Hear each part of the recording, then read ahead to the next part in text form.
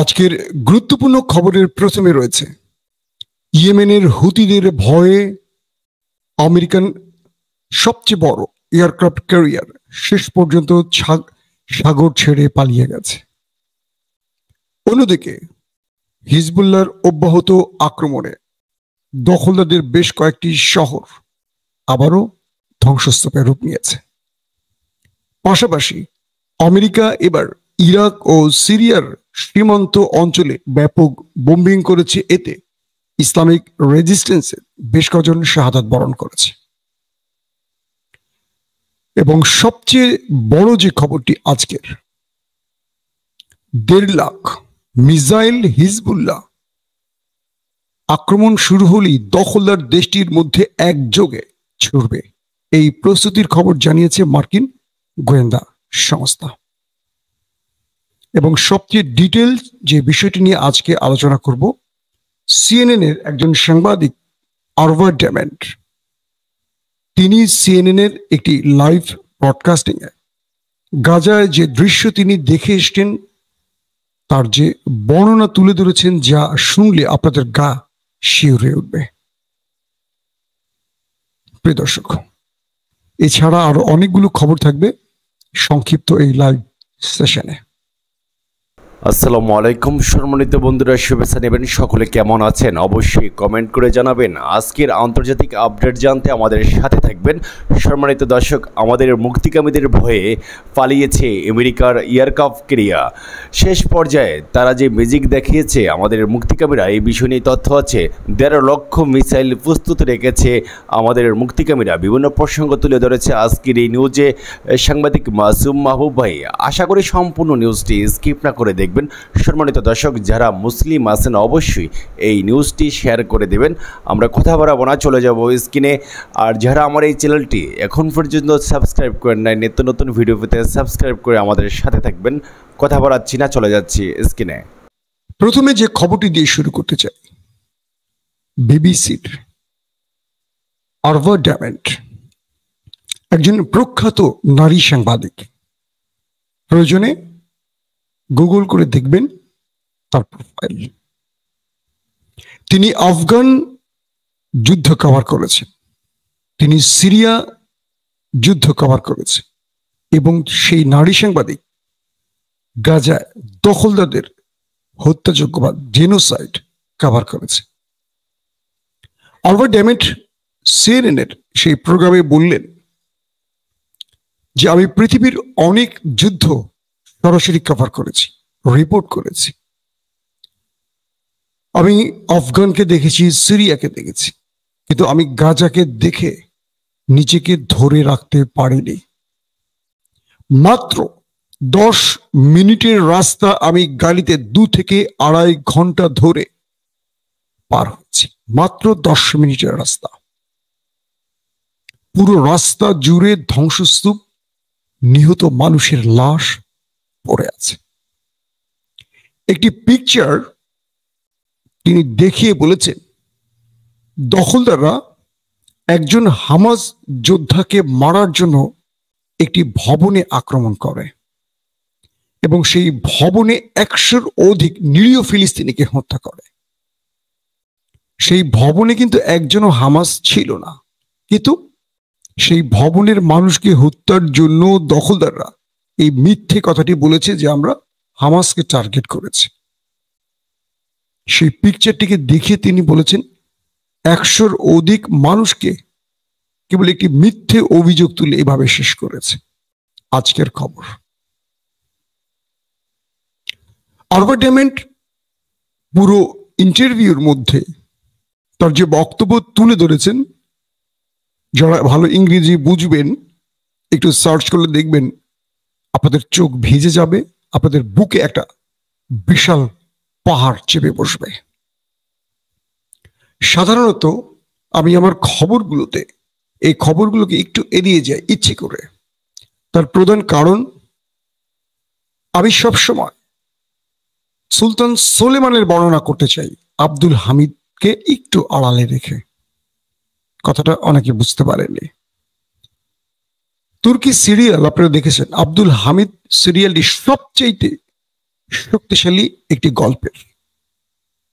কিন্তু আব্দুল হামিদের সিরিয়ালটি বেশ জনপ্রিয়তা পায়নি, কারণ এটার মধ্যে মুসলমানদের পরাজয়ের গল্প রয়েছে। কিন্তু সুলতান সুলেমান বলেন, কুরুলুস উসমান বলেন, ফতিহ সুলতানের কথা বলেন, এখানে মুসলমানদের বিজয়ের গল্প আছে।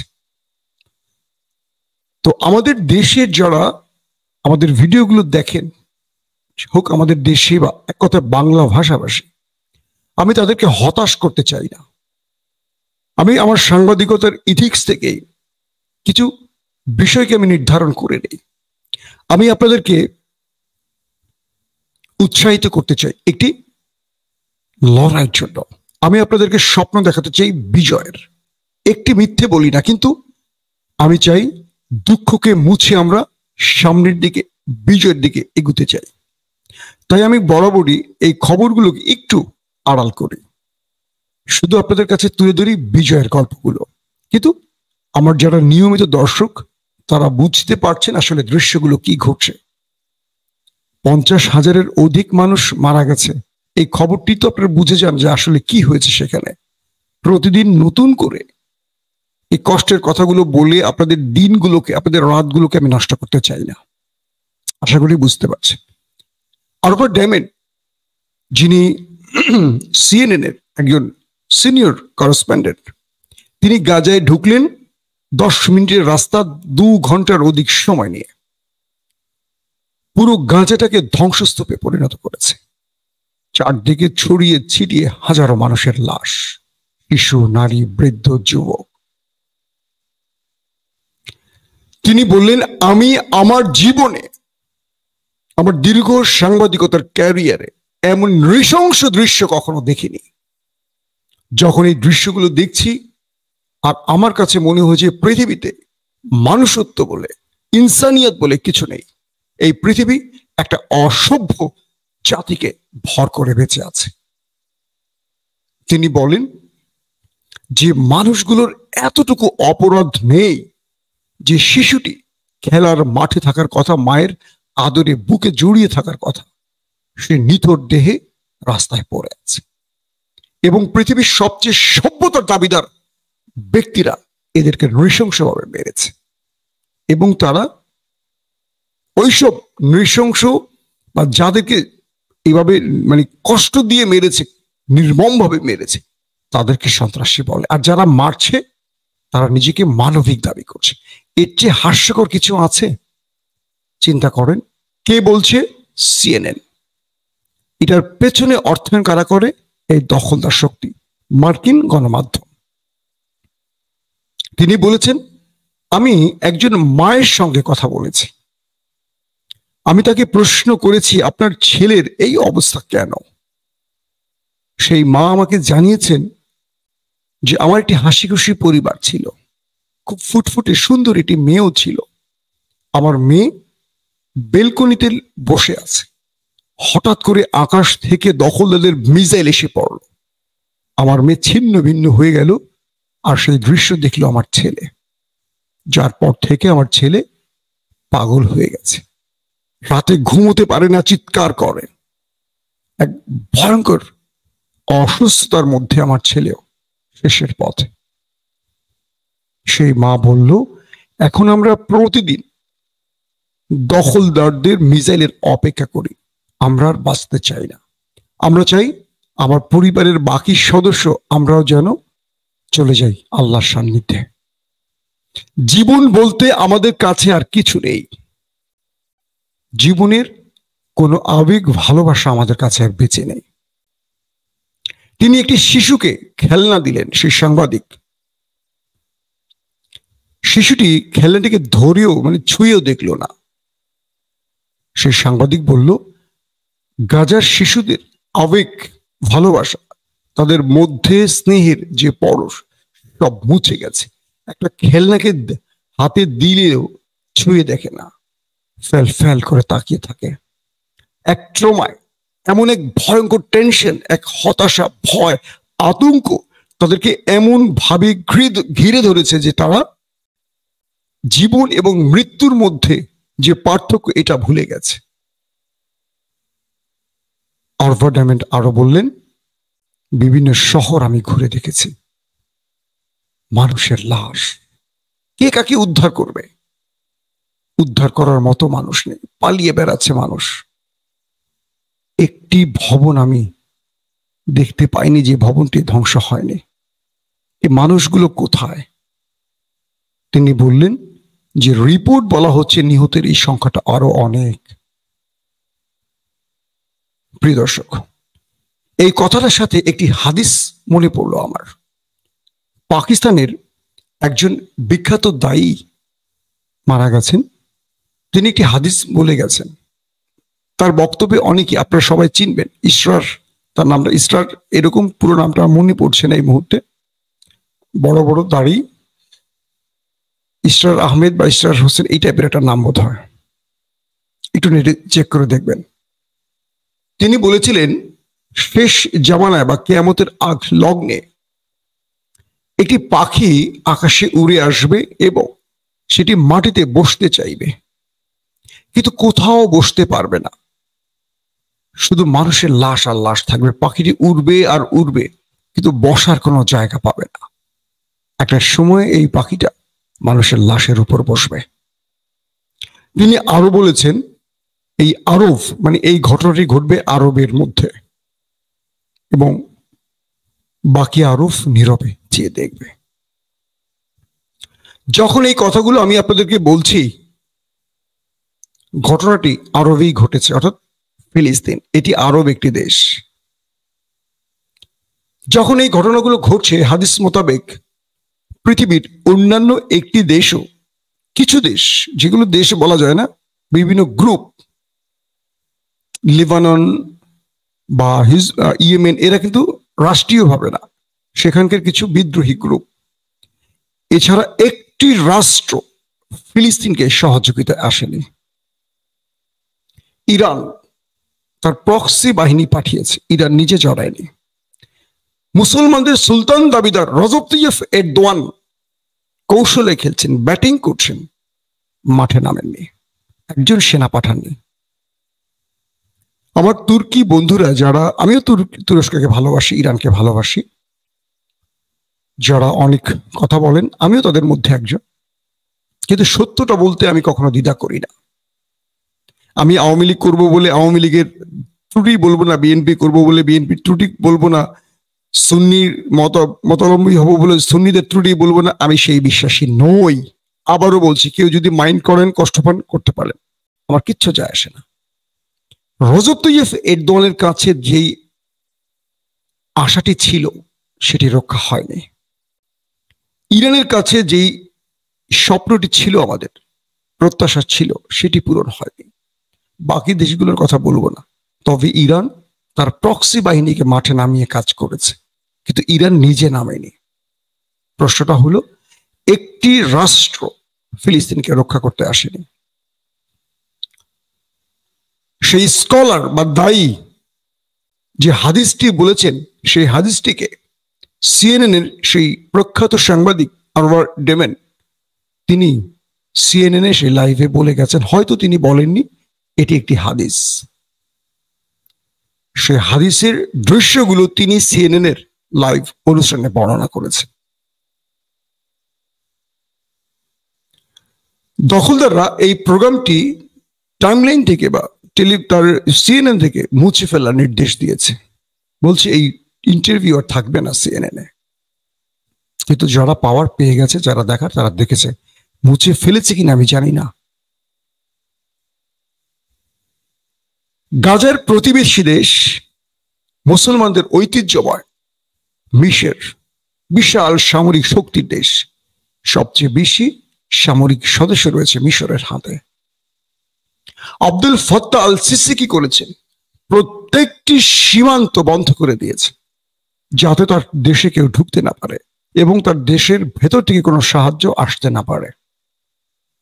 যখন দখলদাররা নির্মমভাবে, নৃশংসভাবে প্যালেস্টাইনিদের মারছে তখন ফিলিস্তিনের জন্য যেন কোনো সহযোগিতা না যায়, তার সব ব্যবস্থা করেছে জর্দান এবং মিশর, দুটোই মুসলিম দেশ। আরবের মোহাম্মদ বিন সালমান, মোহাম্মদ বিন জায়েদ, Mohammad bin Tamim, Mohammad bin Tamim না, Tamim bin Hamad Al Thani Rajab এরদোয়ানরা পর্দার আড়ালে কুট কৌশলেই খেলছেন, দৃশ্যপটে আসছেন না। মার্কিনীরা ন্যাটোকে ডেকে আনছে, ইউরোপকে ডেকে আনছে, অস্ত্র দিচ্ছে, সাহায্য করছে। কাকে? দখলদারদের। ফিলিস্তিনকে প্রকাশ্যে কেউ কিছু দিচ্ছে না। কিয়ামতের আগের দৃশ্যগুলোতে এমনই, আমরা তাই তো বলেছি হাদিসে, তাই না? আচ্ছা প্রতিটি মানুষই তো মৃত্যুর স্বাদ গ্রহণ করবেন। প্রতিটি মানুষ বিচারের কাঠ করে দাঁড়াবেন। আপনি, জি আপনাকে কি বলছি? যিনি রাত জেগে আমার ভিডিওটা দেখছেন, কেন দেখছেন? একটা ভালো খবরের জন্য, ভালো খবর দেব আজকের শেষে। আপনার কিছু করণীয় নেই। আপনি মধ্যপ্রাচ্যে, কাতারে আছেন, কুয়েতে আছেন, মালয়েশিয়া আছেন, লেবাননে আছেন, লিবিয়াতে আছেন, বাংলাদেশে আছেন, পশ্চিমবঙ্গে আছেন। ভারতে বা বাংলাদেশে, পৃথিবীর যেখানেই আছেন, আপনার কিন্তু কিছু করণীয় নেই। যাদের করণীয় তারা করছে না। তারা তাদের মসনদকে এত ভালোবাসেন। যে মসনদ হারাবার ভয় তারা জোরে আওয়াজও করছে না, জোরে কাশিও দিতে পারছেন না। ফিলিস্তিনে বাইতুল মুকাদ্দাসের খতিব জুমার নামাজের বক্তব্যে বলেছিলেন, আমরা আমাদের সকল বিচার আল্লাহর দরবারে দিয়েছি। যেসব মুসলিম দেশ সব দেখেও নীরব থেকেছে, আল্লাহ তাদের বিচার করবেন। তিনি বলেছেন, খতিব সাহেব অশ্রু ভেজা চোখে আরবি ভাষায় খুদ্বায় বলেছিলেন, হে বিশ্ব মুসলিম, তোমরা সব দেখেও না দেখার ভান করে আছো। মনে রেখো, এই বিপদ তোমাদের ঘরেও আসবে, তখন অন্য মুসলিমরা চোখ বন্ধ করে রাখবে। ব্রাদারহুডের মুরসি সরকার, ডক্টর মুরসি, তিনি যখন ক্ষমতা এসেছিলেন, গাজার সাথে সকল পয়েন্ট খুলে দিয়েছিলেন। ইসরায়েল ভয় পেয়ে গেল, আমেরিকা ভয় পেয়ে গেল মুরসিকে ফেলে দিল। আসলো পাপেট তাবেদার, বিশ্বাসঘাতক বেইমান অমানুষ, অমুসলিম, জারজ, আব্দুল ফাতাল সিসি পশ্চিমাদের প্রেসক্রিপশন ছাড়া এই বদমাসের বাচ্চা এক পাও সামনে পাওয়া যায় না। সবচেয়ে ইন্টারেস্টিং ব্যাপার কি জানেন? আর্মেনিয়া আর্মেনিয়া, আজারবাইজানের নাম শুনেছেন না? আর্মেনিয়া, অর্থোডক্স খ্রিস্টান দেশ, আজারবাইজান, শিয়া, মুসলিম দেশ। আর্মেনিয়া আজ ফিলিস্তিনকে স্বীকৃতি দিয়েছে। নরওয়ে, ফিনল্যান্ড, আয়ারল্যান্ড এবং স্পেন স্বীকৃতি দিয়েছে। স্বাধীন রাষ্ট্রের স্বীকৃতি দিয়েছে। আজকে নতুন করে স্বীকৃতি দিয়েছে আর্মেনিয়া। নীরব রয়েছে আজারবাইজান, আজারিরা। কারণ তাদের বুক পকেটে অবস্থান করছে মোসাদ, অর্থাৎ দখলদার দেশটি। তারা তেল বিক্রি করছে দখলদারদের উদ্দেশ্যে। অনেকে এটাকে ভুল করে তুরস্কের কথা বলেন। মূলত আজারিরা তেল বিক্রি করে ইসরায়েলের কাছে। অথচ অর্থোডক্স খ্রিস্টান আর্মেনিয়া ফিলিস্তিনকে স্বীকৃতি দিয়েছে। সঙ্গে সঙ্গে দখলদাররা তাদের অ্যাম্বাসেডরকে ডেকে আনলো। বলল, স্বীকৃতি ফিরিয়ে নাও, নতুবা তোমার উপর স্যাংশন দেব। যারাই ফিলিস্তিনকে স্বীকৃতি দেয়, স্বাধীন রাষ্ট্রের স্বীকৃতি দেওয়ার সঙ্গে সঙ্গে তাদের দখলদারা ডেকে আনে। এনে ভয় দেখায়, হুমকি দেয় স্যাংশনের হুমকি দেয়। পুচকে একটা ইসরায়েল, ছোট্ট আশি কি নব্বই লক্ষ মানুষ বিশাল বিশাল ইউরোপীয় দেশকে হুমকি দিয়ে বসে স্পেনকে হুমকি দিয়ে বসে। ওদের শক্তি কোথায় বুঝতে পারছেন? ওদের শক্তি আমেরিকা। আমি গাজার যে দৃশ্যের কথাগুলো বললাম, আমি অনেক বলতে পারব। আমি আপনাদের চোখ ভেজাতে চাই না। এই কথার সাথে একটি কথাই বলি। আপনারা হয়তো আমার খবর দেখেন, কিন্তু প্রতিদিন কত ঘণ্টা প্যালেস্টাইনের খবর আমি দেখি জানেন? কত ভিডিও আমাকে দেখতে হয় জানেন? আমি যে বেঁচে আছি, স্বাভাবিক আছি, অসুস্থ হই নেই, পাগল হই নেই, হয়তো আপনাদের দোয়ায়। কি ভয়ঙ্কর দৃশ্যগুলো প্রতিদিন দেখছি, কিন্তু এগুলোর বর্ণনা আমি করি না, হজম করে রাখি। মাঝে মাঝে আপনারা আমাকে লাইভে দেখেন না। আমি মানসিকভাবে অসুস্থ হয়ে পড়ি লাইভে কথা বলার শক্তি হারিয়ে ফেলি। অথচ একটি দাবি করেছি আপনাদের কাছে, সির্ফ একটি দাবি, দখলদারদের পণ্য বয়কট করেন। আমার আমার ফেসবুকে বহু বন্ধুকে দেখি আতলামি করতে, বদমাশি করতে। কেন বন্ধ করবেন অনেকে টিপ্পুনি কেটে বলে, আফগানের পানীয় আসছে বাংলাদেশ, এটাকে নিয়ে হাস্যকর তৈরি হাস্যরাসর তৈরি করছে। আমরা আপনাকে বলেছি, কোনো পানীয় খান। বলিনি যদি খেতেই হয়, দেশীয় পণ্য খান। কিন্তু মুসলিম, আবার নামাজও পড়েন। এদের মধ্যে অনেকে দেখি কোকের পক্ষে। সাফাই আছে। আমি অবাক হয়ে যাই। এরা কি মানুষ? কোকের বোতলে আমরা কোমল পানীয় খাই না প্যালেস্টাইনিতে রক্ত পান করি, বোঝেন না? এই কথাগুলো গলা ভেঙে বলছি কেন আপনাদের? আপনার সন্তানটি আপনার কোলের মধ্যে বসে আছে এখন, তাই না? রাতে ঘুমোবেন কোলে নিয়ে। প্যালেস্টাইনিদের সন্তানগুলো কবরে চলে গেছে। কারও হাত নেই, কারও পা নেই, কারও চোখ নেই। কেউ হাসপাতালে কাতরাচ্ছে, কেউ দশ দিন খাবার পাচ্ছে না। আমার কথা না সিএনএন এর কথা আর ওপর ড্যামেন্ডের কথা। দেখে নেন সিএনএন মিথ্যে বলছে কিনা এক লাইন। তিনি বলেছেন, অজস্র বাচ্চাকে দেখেছি খেতে পারছে না। শরীরে এক ফোঁটা মাংস নেই, চামড়া লেগে গেছে হাড়ের সাথে। কি নৃশংস দৃশ্য। আপনি কোমল পানীয় খেতে চান? লজ্জা করে না? নিজেকে মুসলিম দাবি করেন? নামাজ রোজায় কি মুসলিমের পরিচয়? আজকে পুরো বিশ্ব ওদের পক্ষে দাঁড়িয়ে গেছে আর আপনি মুসলিম। আপনি মক্কা মদিনার পাহারাদার। হজের জন্য মানুষের রাস্তা উন্মুক্ত করে দেন। হজের মাঠে দোয়া করেন, তাই না?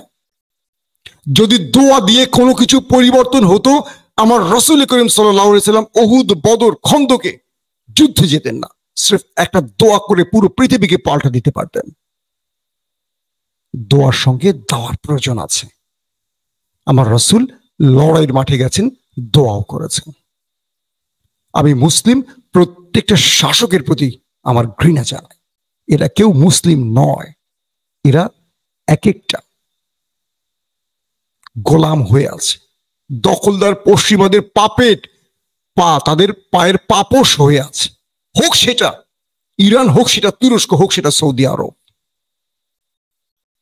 সকলের প্রতি আমার আস্থা শেষ হয়ে গেছে। দর্শক ইম্পর্টেন্ট তথ্যগুলো এবার দিতে চাই। ইয়েমেনের ভয়ে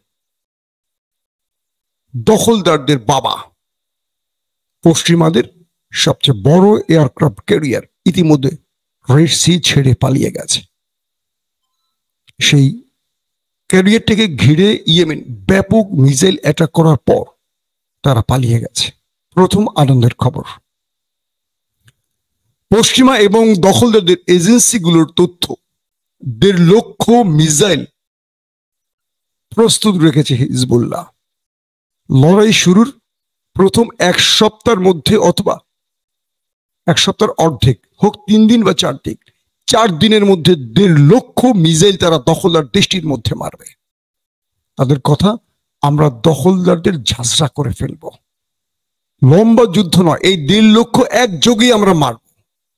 এবং পুরো দখলদারদের প্রত্যেকটা অঞ্চলকে ঝাঁঝরা করে দেব। কে বলছে? দখলদার এবং আমেরিকান এজেন্সির তথ্য। দর্শক, গাজার ভেতরে এখন পর্যন্ত অ্যাটাক চলছে, পাল্টা অ্যাটাক চলছে, সেখানেও নিহতের খবর পাওয়া গেছে। এবং দখলদারদের গণমাধ্যম অবশেষে স্বীকার করেছে, সত্তর হাজারের বেশি দখলদার সেনা গুরুতর আহত বা পঙ্গুত্ব বরণ করে সেই দেশের হাসপাতালে ভর্তি আছে। তার মানে এই তথ্যটি আমরা আরও চার পাঁচ দিন আগে আপনাদের দিয়েছিলাম। মনে আছে হয়তো। অনেকেই প্রশ্ন তুলেছিলেন। একদিকে ইয়েমেন, অন্যদিকে হিজবুল্লাহ। একযোগে প্রস্তুত প্রত্যেকটা প্রক্সি যোদ্ধাদের সঙ্গে আরও অনেক ফাইটার প্রস্তুত। তাদের তালিকা এখনও প্রকাশ করা হচ্ছে না বা সংখ্যাটা বলা হচ্ছে না। তবে হিজবুল্লার পক্ষ থেকে শুধু বলা হয়েছে, এক লক্ষের মতো ফাইটার লেবানন সীমান্তে অপেক্ষা আছে শুধু অনুমতির জন্য। তারা ভারী অস্ত্র নিয়ে প্রবেশ করবে এবং তারা দখলদার দেশটির ভেতরে প্রবেশ করে লড়াইটা অব্যাহত মানে লড়াই চালাবে। আমেরিকান বোম্বারু সিরিয়া এবং ইরাকে ইসলামিক রেজিস্ট্যান্সের টার্গেট করে ডিভাইস বিস্ফোরণ বোমা বিস্ফোরণ ঘটিয়েছে। এতে ইসলামিক রেজিস্ট্যান্সের অনেকেই শাহাদাত বরণ করেছে। এর পরবর্তী দুটো স্থান থেকে আমেরিকার বেসকে টার্গেট করে অ্যাটাক হয়েছে। এখন পর্যন্ত সেখানে কি পরিমাণ হতাহত হয়েছে সেই তথ্য আমরা পাইনি। প্রিয় দর্শক, যে খবরটি দিয়ে আজকে আমি আমার লাইভ শেষ করতে চাই এই যুদ্ধে আবার বুকে হাত দিয়ে বলি, বিজয় হবে ফিলিস্তিনের। এই যুদ্ধে শুরুর থেকে আজ অবধি আমি প্রতিদিনই আপনাদেরকে যে তথ্যগুলো দিয়েছি, বিশ্বাস করি যারা আমার নিয়মিত দর্শক, তারা জেনেছেন, কখনো একটি ভুল বা মিথ্যে তথ্য দেওয়ার চেষ্টা করিনি। কিন্তু আমার সাংবাদিকতার জীবনে দেশে, বিদেশে আমি যতটুকু কাজ করেছি, সকল তথ্য উপাত্তের আলোকেই বলছি, এই যুদ্ধে ফিলিস্তিনের জয় হয়ে গেছে। হয়তো পৃথিবী একটি নৃশংস জেনোসাইড দেখেছে, কিন্তু এখন পর্যন্ত একটি পক্ষ হোক, সেটা দখলদার হোক, সেটা পশ্চিমা। একটি পক্ষ বলছে না, এই লড়াইতে দখলদারদের বিজয় হয়েছে। সব ক্ষেত্রে তাদের পরাজয় হয়েছে। এবং আষ্টের সময় ওরা সংঘবদ্ধ হচ্ছে। ইউরোপ ওদের পক্ষে নেমে আসছে। আজকে সকালে যে বা দুপুরে যে লাইভটি করেছে, যারা দেখেননি, অবশ্যই দেখবেন। অনেক গুরুত্বপূর্ণ খবর দিয়েছি সেখানে। একটাও রিপিট করিনি এই খবরে। তাই অবশ্যই দেখে নেবেন। দখলদারদের প্রত্যেকটা পজিশন থেকে মেসেজ আসছে হিজবুল্লার সাথে লড়াইতে জড়াতে না। কিন্তু হিজবুল্লাহ এতটা শক্তি নিয়ে মাঠে প্রস্তুত, এবং এই লড়াইটা হয়তো আমরা শিগগিরই দেখব, দু এক দিনের মধ্যে হতে পারে, সাত দিনের মধ্যেও হতে পারে। অর্থাৎ ইউরোপ যদি ইয়েমেনকে বিজি রাখতে পারে, কারণ ইউরোপ এগিয়ে আসছে ইয়েমেনকে অ্যাটাক করার জন্য, সাতাশটি দেশ, তাহলে হিজবুল্লাহ অ্যাটাক করবে।